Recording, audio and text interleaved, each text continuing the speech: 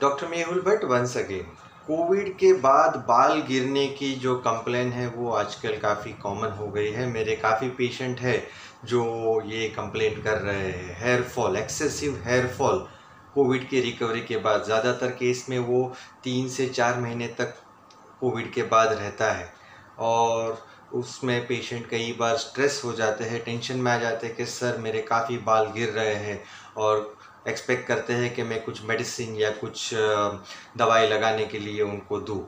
As a doctor let me tell you first of all इसके पीछे reason क्या है? इसके पीछे सबसे बड़ा रीज़न ये है कि जो कोविड का स्ट्रेस है, उसके बाद बॉडी में एक स्ट्रेस हार्मोन रिलीज़ होता है, जिसका नाम है कॉर्टिजोल और सिर्फ़ कोविड में ही नहीं, कोई भी दूसरी बीमारी, जैसे टाइफॉइड है या हाई फीवर जॉन्डिस वगैरह, ये सभी बीमारी में जहाँ पे फ़िज़िकल स्ट्रेस बॉडी में बढ़ जाता है ऐसे समय पे कॉर्टिज़ोल का लेवल बढ़ जाता है और कॉर्टिज़ोल की वजह से और एक केमिकल बॉडी में बढ़ जाता है, जिसका नाम है डी एच टी ये केमिकल हेयर फॉल के लिए इसका सबसे बड़ा यही कारण है।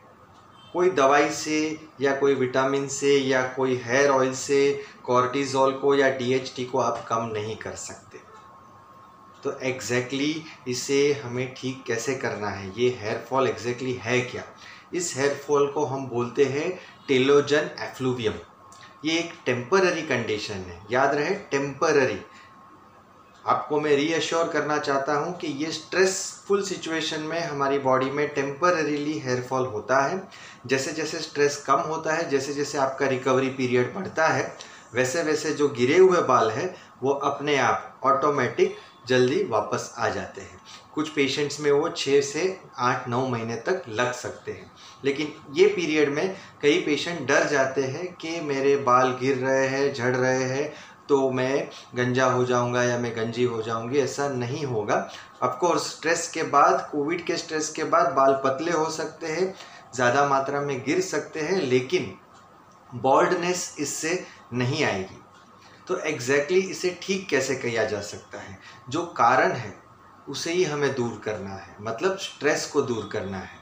सो so, कोविड के बाद की जो रिकवरी का पीरियड है उसमें एंटी स्ट्रेस एक्टिविटी जैसे मेडिटेशन है योगा है रिलैक्सेशन है ये सभी करना ज़रूरी है। एट द सेम टाइम जो आपका न्यूट्रिशन है उस पर ध्यान देना है। खाना जो फ़ूड है ज़्यादातर आपके बाल के लिए जो फ़ूड काम में आता है वो है प्रोटीन्स मतलब हर एक तरीके के पल्सिस और दाल, वो रोज़ आपके खाने में होना ज़रूरी है। फ्रेश सीजनल फ्रूट्स और वेजिटेबल्स ये सब चीज़ न्यूट्रिशन आपका अच्छा करेंगे और जिससे आपके बाल को अच्छा न्यूट्रिशन मिलेगा और बाल जल्दी ग्रो होंगे।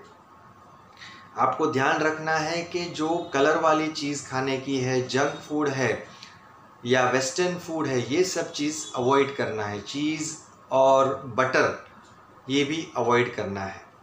बाल को मसाज कर सकते हैं, लेकिन एक्सेसिव मसाज नहीं करना है। जो भी रेगुलर ऑयल आप यूज़ कर रहे हो, वो आप यूज़ करके अपने बाल को हफ़्ते में दो या तीन बार ऑयल मसाज कर सकते हो, लेकिन माइल्ड मसाज एक्सेसिव मसाज नहीं करना है। जो शैम्पू आप यूज़ कर रहे हो, वो माइल्ड शैम्पू यूज़ करना है। हो सके तो बेबी शैम्पू भी आप यूज़ कर सकते हैं। ध्यान रहे कि जितने केमिकल हमारे बाल को या स्किन को कम लगेंगे, उतना जल्दी रिकवरी हो जाएगी। क्या नहीं करना है या क्या नहीं असर करता है रिकवरी में? वो है अलग अलग तरीके के मल्टीविटामिन टैबलेट्स या कोई क्रीम या लोशन जो आप शायद मेडिकल से ले लो या कोई डॉक्टर के पास से ले लो। कोई ऐसा साइंटिफिक प्रूफ नहीं है कि कोई पर्टिकुलर दवाई आपके बाल को वापस उगाने के लिए हेल्प करेगी। सो so, इन सब झंझट में मत पड़िए। ऐसी कोई मेडिसिन मलम नहीं है जो एज ए डॉक्टर मैं आपको दे दूँ और आपके बाल उगना शुरू हो जाएँगे।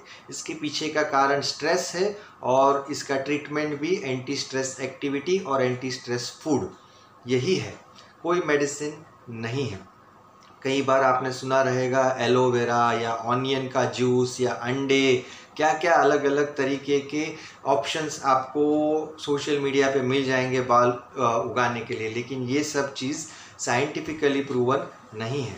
और एक चीज़ मैं कहना चाहूँगा कि जो सलून में chemical treatment hair straightening treatment या ऐसी कोई भी हार्श ट्रीटमेंट कोविड के रिकवरी के बाद आप बाल पे मत कीजिएगा, क्योंकि बाल ऑलरेडी वीक है और ऐसी कोई भी केमिकल ट्रीटमेंट हेयर स्ट्रेटनिंग वगैरह से बाल और गिर सकते हैं।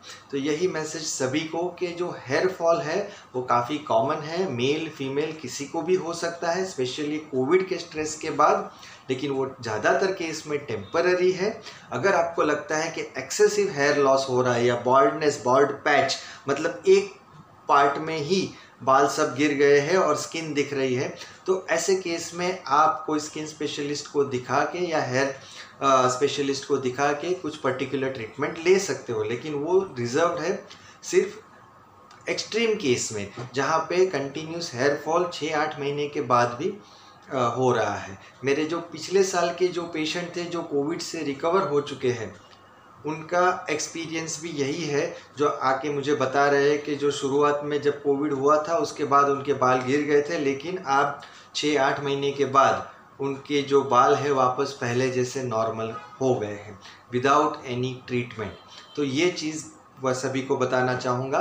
कोविड के बाद का हेयर फॉल टेम्पररी है ज़्यादातर केस में, और अच्छा न्यूट्रिशन और अच्छा हेयर केयर उसमें काफ़ी हो जाएगा और तीन से छः महीने में आपके बाल जो गिरे हुए हैं, वो वापस रिकवर हो जाएँगे। कोई ट्रीटमेंट की ज़रूरत नहीं है, कोई हेयर क्रीम की ज़रूरत नहीं है, कोई ओरल मल्टीविटामिन टैबलेट्स की भी ज़रूरत नहीं है। ज़्यादातर केस में नेचुरल मेथड्स ही आपको काम आएँगे।